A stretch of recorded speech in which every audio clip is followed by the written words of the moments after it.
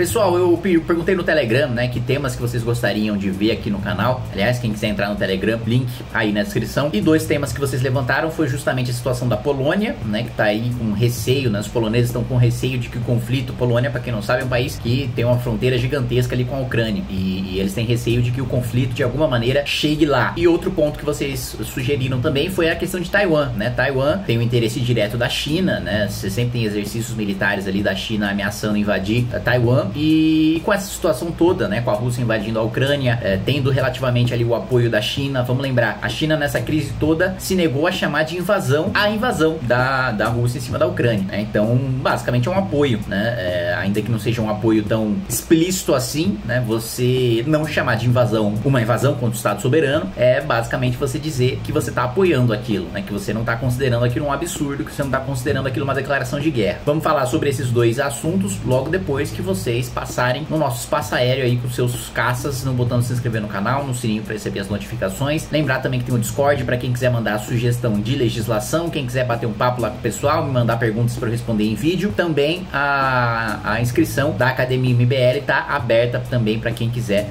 fazer parte, para quem quiser é, uma formação aí mais sólida sobre política. Bom, vamos falar primeiro sobre a situação da, da Polônia. Né? Os poloneses já estão com receio de que o conflito se arraste até a Polônia. Hoje, isso é pouco provável, pouco provável. Tudo indica que esse conflito termina na Ucrânia, tudo indica que esse conflito não tomará proporções maiores, né? Mesmo porque a Rússia já está quase né, obtendo o controle da Ucrânia, já está quase obtendo o controle de Kiev. A Europa não sinaliza que vai enviar tropas, os Estados Unidos muito menos. A OTAN já fez um pronunciamento, aliás, oficial, dizendo que não vai enviar tropas. Então as chances desse conflito escalonar são pequenas e ao mesmo tempo a Rússia também tem o interesse de solucionar essa questão uh, em algum momento, pode não ser imediatamente, pode não ser nas próximas semanas, mas assim, não passa de um ano, pelo menos na minha avaliação, a, a Rússia precisa solucionar essa questão porque ela está basicamente bloqueada do sistema financeiro internacional. Tem o Nord Stream 2, eu já falei em outro vídeo Nord Stream 2, que é o gasoduto que passa da Rússia para a Alemanha e que dobraria né, a quantidade de gás natural. Gás natural é um dos principais fatores para movimentar a balança comercial e a economia da Rússia. E a Alemanha ia dobrar sua importação com esse gasoduto, com o Nord Stream 2. Então, existe um interesse econômico né, da, da Rússia solucionar esse problema. Ao mesmo tempo, o Ocidente está meio frouxo e parece que vai deixar né, a Rússia tomar o, o, o controle lá da Ucrânia. E o presidente ucraniano já disse que pode abrir mão de definitivamente ter qualquer negociação com a OTAN. E o Putin já sinalizou que pode querer negociar nesses termos, se, se o ponto de partida partida for presidente ucraniano se comprometer a negar de qualquer maneira, em qualquer tempo, o ingresso da Ucrânia na OTAN. Né? Então, as chances disso se arrastar né, e chegar na Polônia é, é uma chance muito pequena. Você tem brasileiros, inclusive, mas vários outros refugiados ucranianos que têm ido a pé, né, ultrapassado a pé a fronteira entre a Ucrânia e a Polônia. Né? O governo polonês está em alerta, os cidadãos estão em alerta, estão se preparando, inclusive, para receber diversos refugiados. Tem uma integração cultural muito grande entre a Ucrânia e a Polônia Polônia. Uh, eu pessoalmente tive a oportunidade de ir à Polônia para palestrar numa faculdade de administração. Acho que é Asbiro, né, o nome da, da faculdade de administração. Fui para Varsóvia, fui para Cracóvia. Faz algum faz, faz alguns anos já, isso aí, 5, 6 anos. É, na época acho que do, do impeachment ainda que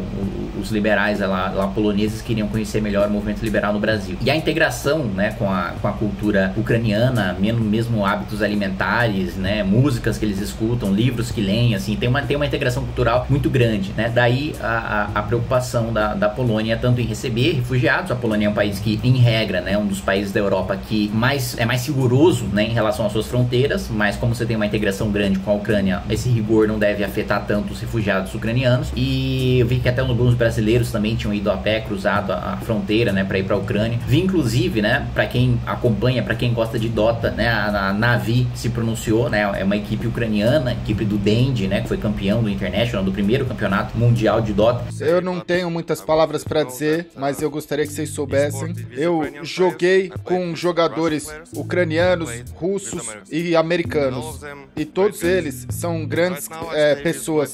Esses são os meus amigos. Esses são os meus verdadeiros amigos. A gente ganha junto e a gente perde junto. E pela Ucrânia e por todo mundo, a gente, né, a gente tem medo, a gente tá com medo. Precisamos, né, é, mostrar, ser exemplo pro mundo todo. É claro que é um assunto delicado delicado, mas você, como sempre, mandou perfeito. Tenho a mesma opinião e acredito que a maioria, ainda mais jovens aí, é? jogadores de esporte eletrônico. Então, perfeita a sua colocação. a, a, imagem já tá aí, né, velho? Só dos cinco, né? Mais o coach Exato. tá abraçado, já é tudo, velho. Não precisa, não precisa dizer mais nada. Dá, dá vontade de chorar, né? Uma nota que repercutiu bastante, um discurso que repercutiu bastante, mas pelo que nós temos até agora, esse conflito não deve se arrastar para a Polônia. Vamos falar de Taiwan agora, né? Como vocês sabem, a China não reconhece Taiwan como um estado-nação, né? Não reconhece o governo de Taiwan. Para a China, Taiwan faz parte da China, deveria estar sobre as leis sobre o governo da China, só não está por uma situação atípica, né? Anormal do Taiwan, né? Declarar-se ali um governo autônomo. Vamos lembrar, que a China já avançou sobre Hong Kong, né? E no avanço da China sobre Hong Kong, você não teve não teve nenhuma interferência do Ocidente, não teve nenhuma interferência da Europa, dos Estados Unidos. E você vê vários veículos de imprensa sendo perseguidos, né? Donos de jornais sendo presos, opositores políticos, manifestantes sendo presos, né? Uma perseguição política muito grande na China lá em Hong Kong. E todo mundo sabe também do desejo que a China tem de tomar o controle do território taiwanês, né? Taiwan é um, é um país chave porque é a última barreira né, entre a China e o Japão. Né? Quando eu estive no Japão, quando eu estive em Tóquio, é, conversando com algumas autoridades japonesas, mesmo aqui no Brasil, conversando com diplomatas japoneses, é uma preocupação muito, muito, muito grande do Japão a situação de Taiwan. Né? Os, os discursos do, né, do ex-primeiro-ministro Shinzo Abe, do atual primeiro-ministro do Japão, né, do, do, dos primeiros ministros japoneses de maneira geral, dos premiers japoneses de maneira geral, sempre são muito duros em relação à China. Né? O Japão é muito crítico da OMS, da Organização Mundial de Saúde, justamente pelo principal financiador da OMS ser a China, né? E aí a OMS ser menos rigorosa é, na hora de criticar as ações, né? Principalmente as condições sanitárias, né? Da, da China, né? Da, daqueles mercados sem nenhum tipo de, de fiscalização sanitária e etc. E essa é a preocupação. Por que, que o Japão é tão preocupado assim? Por que, que o Japão é tão agressivo à China em relação a esse tema Taiwan, em reconhecer o governo de Taiwan? Porque é a última barreira, né? De, de, de que segura segura a China é, é, em termos estratégicos para que a China não possa avançar sobre o Japão. Porque depois de Taiwan, é Japão. Se, se, se a China adota uma política expansionista, como tem dado sinais de que quer adotar, e invade Taiwan, o próximo passo é o Japão. O próximo passo é entrar em guerra com o Japão. Né? É, não tenha dúvida disso. E, e, esse é o maior medo dos japoneses. Né? Por isso, o Japão sempre se manifesta muito duramente, sempre que tem exercícios militares, provocações é, em, cima de, em cima de Taiwan. É comum já caças chineses, aviões de reconhecimento invadirem o espaço aéreo uh, de Taiwan. Isso aconteceu no dia em que a Rússia invadiu a Ucrânia, no dia em que a Rússia invadiu a Ucrânia, né, a Força Aérea de Taiwan alertou que houve uma invasão do espaço aéreo por parte da China no dia da invasão, né? Então tem um receio grande porque a postura da Europa e dos Estados Unidos em relação à invasão da Ucrânia pode incentivar a China. A China pode sentir-se confortável. Bom, não fizeram nada ali na Ucrânia que é um território que afeta muito mais a Europa, que afeta muito mais os Estados Unidos, tem que ter uma proximidade muito maior com o Ocidente do que Taiwan, que tem uma importância muito maior para o Ocidente do que Taiwan. Logo, se eu invadir Taiwan, não vou fazer nada também. Então você tem um incentivo para que uh, essa barreira, última barreira ali de um conflito entre China e Japão seja quebrada. E você não tenha dúvida de que se a China invadir Taiwan, o Japão vai reagir de maneira muito dura. E aí não vai depender de, de opinião de europeu, não vai depender de opinião opinião de americano, o Japão, uh, não tenho dúvida nenhuma, vai uh, se defender. O Japão vai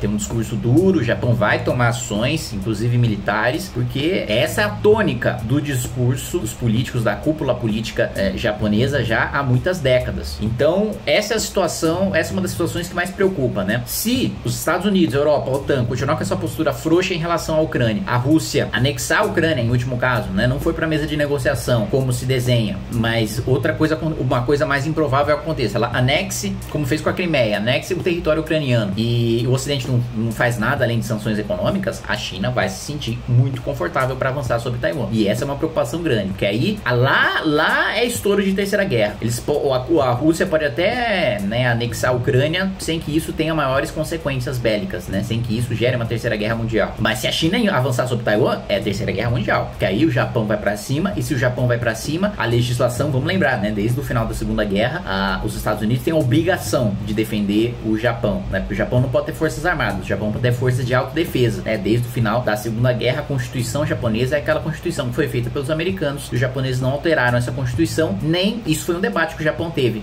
Aliás, na gestão do Shinzo Abe, um dos desejos do Shinzo Abe, do Shinzo Abe era de aprovar uma emenda à Constituição que permitisse que o Japão tivesse forças armadas. O Japão pôde investir mais nas suas forças de autodefesa quando os Estados Unidos percebeu que o Japão estava crescendo demais, né? E, e, uma das razões pelas quais o Japão cresceu tanto é que ele não tinha tanto gasto com militares, né? Não tinha tanto gasto com forças armadas, que tinha garantia da defesa dos Estados Unidos e tinha proibição de, de, de investir né, no seu exército, nas suas forças armadas, né? E aí, na época da ascensão dos tigres asiáticos, etc., os Estados Unidos permitiu, né, que o Japão investisse mais nas suas forças de autodefesa. Mas ainda assim, né, não são forças armadas é, como a dos Estados Unidos, como a dos, dos, países europeus, etc. Então é isso, gente. Essa é uma visão geral aí sobre, sobre Taiwan, sobre Polônia. Tudo que a gente fala aqui é com base em cenário político, né, com base na, nas ações de cada um até agora, mas são conjecturas, né? Não dá pra gente saber ao certo exatamente o que vai acontecer. Então a gente aguarda e qualquer é, nova notícia em relação a isso, aí eu informo vocês. Tá joia? Um abraço, gente, até mais.